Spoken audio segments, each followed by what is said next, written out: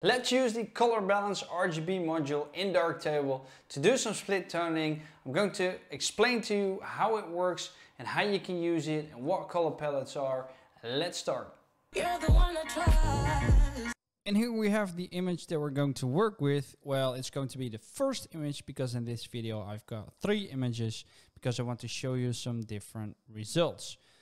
Right, first let me show you a before and after this is the original image and this is the image that we're going to create from it.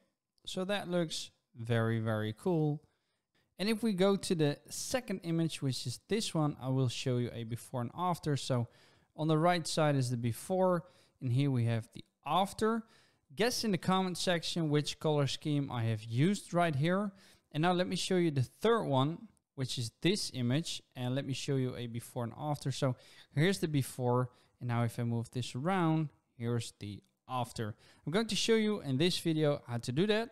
So let's start with the first image and I've already made a duplicate, which means that my original image is still intact uh, and I kind of start from scratch. And as the title suggests, I am going to use the color balance RGB module. Now I am going to change some in, wait a minute, in the master settings. I won't go in detail about what I'm going to do right here or why I've been doing it. Uh, I'll make a separate video on that because that way I can explain to you what everything does and I just know that these are the values because I've memorized them which I'm obviously kidding because I've wrote these down so there you go this is how I change the image very quickly but it's all about the colors right here and when you're going to do some split toning or some color balance or whatever you want to call it, there's a couple of ways how you can do this. And to show you, I need this example right here. So right now we have an analogous color scheme. So we've got colors which are in the same spectrum. So let's say what Google says, and it says an analogous color scheme involves three colors that are positioned next to each other on the color wheel, as it's shown right here. While neutrals can be added in as well, two of the shades involved will be a primary color, red, blue and yellow for those who need a refresher, and the third will be a mix of the two. So we've got these greens and we've got the blues in this one, or the pink, the red and the orange, or the orange, a little bit of orange, and then the yellow. Now, another thing which is very popular is the complementary color scheme, which is the orange and teal. So let's see what Google says. What are complementary colors? They are pairs of colors which when combined or mixed cancel each other out by producing a grayscale color like white or black. When placed next to each other, they create the strongest contrast for those two colors. Complementary colors may also be called opposite colors. And this is the key, opposite colors, which means that we need a color which is on the opposite of the other color. So if I drag this to the reds, you see we've got the greens. If I drag this into the blue, you see it's the yellow. And this is a very popular formula for sports teams to use in, let's say, their tenues or their t-shirts or their sweaters or their club colors because it really stands out. Another thing I want to show you are shades. So you can have different shades of colors, there you go, which are all in the same spectrum. So if you're going to color grade an image, this is what you should look at. So we've got an analogous, we've got the monochromatic, which is a different one. Then we've got the complementary. So make sure that if you're using colors or a color scheme in your image, while using these, that will give you the best result. So back to Darktable. And right now I want to warm this image up and I'm going to use the same hue in the highlights as I'm going to use in the shadows. So first let's do some minor changes. I'm going to globally offset the image by just a little bit. And I want to crush the shadows a little bit as well to give it more contrast. You see, I can lift the shadows, I can crush them. And in this case, I just want to bring them down just a little bit so that we get a little bit more contrast in the image. And I want to increase the highlights a little bit because the image was a little bit dark.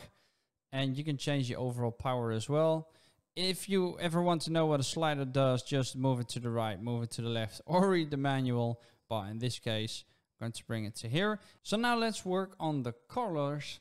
And I want to change the color of the shadow because I want to warm it up. So I want to bring it into the orange a little bit. There you go. And I'm just going to increase the saturation by just a little bit to warm everything up. I think this looks great. And I'm going to do the same thing for the highlights. So I'm going to use the same value. So I'm just going to do this manually because that's a lot easier than moving the slider around precisely. I'm going to increase the saturation or the chroma of that as well, but not too much because this is a very strong effect. So I'm just going to ever gently, very slightly increase it a little bit. Now let me show you before and after.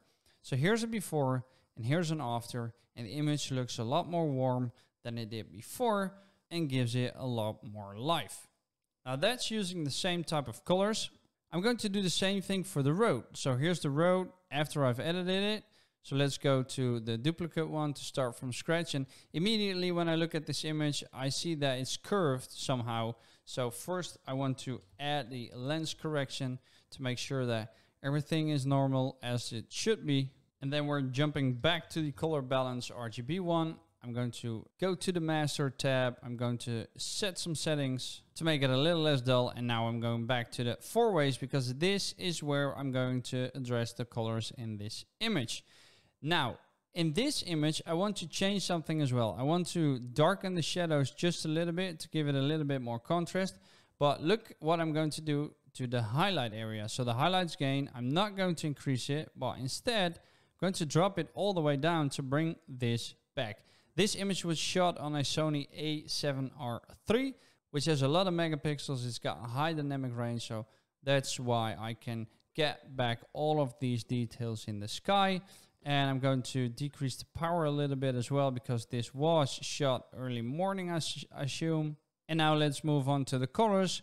Once again, I want to warm this up again. So I'm going to use the same values as I did with the previous image because somehow that works here as well. Now all I need to do is I need to increase the chroma to make sure that the colors are actually added to the image. And there you go. And let's see a before and after. So here's a before and here's an after. And personally, I think that looks a lot better because it really brings the image to life. Now, the final thing I want to do is I want to show a completely different image in which we're going to color grade this split toning style with an orange and teal. It's the most popular one. Everybody knows it. I made some videos about it before, but not with this module. So I'm going to do that right now. And in this case, because I already like how this image looks, I'm going straight to the color balance RGB module. I'm going to activate it and I'm going to decrease the luminance and I'm going to darken the shadows again because uh, I like the way how that brings contrast to the image and I'm going to increase the highlights by just a little bit, not too much. I'm not going to move everything around very drastically. And I'm going to bring down the power as well, just a little bit. And now it's time to work on the colors. So we've got the orange skin tones. We've got some blues already in the shadows, but I'm going to increase that. So in this case, orange and teal, uh, as I've shown you on the color wheel of color.adobe.com, orange and teal means that this is how it's supposed to look. So I'm going to look for these colors in the hue bar. I'm going to look for these colors in the hue bar. So for the shadows, that means I want it to be somewhere around here, looking at the blues.